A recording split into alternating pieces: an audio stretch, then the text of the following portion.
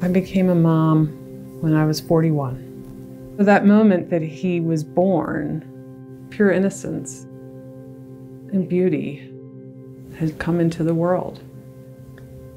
I was married. I think what led to me leaving was rage towards me. I didn't feel safe. My son has reported harm to his therapists and doctors in school.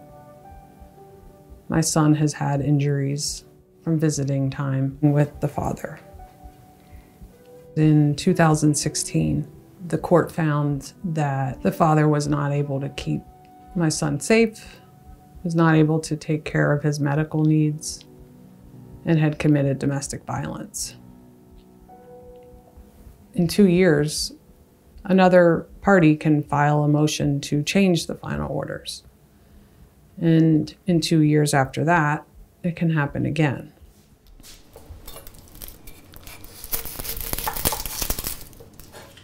And now I'm bankrupt from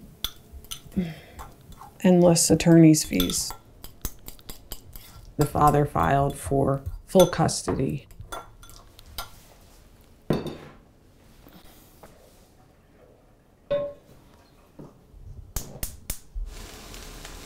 The parental evaluator that the father has hired, he wrote up that the child should be living with the father full time and that the mom was delusional because these reports are being made.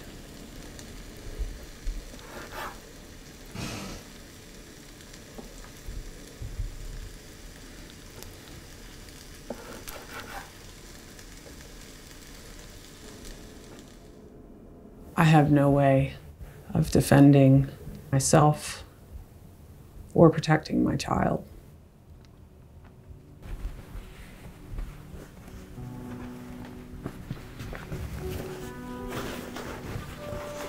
If they take my son away from me because he's reported things that happen that are really scary for him and then my choice is going to be just to love him the best that I can with whatever opportunity I have. And one thing this process has taught me is is truly living in the present with my child. And finding those moments of simplicity, of the smell of his hair, and watching him sleep. And when he's dancing with his friends. And when he has courage to try new things. Those moments are what carry me as a mom through this hell.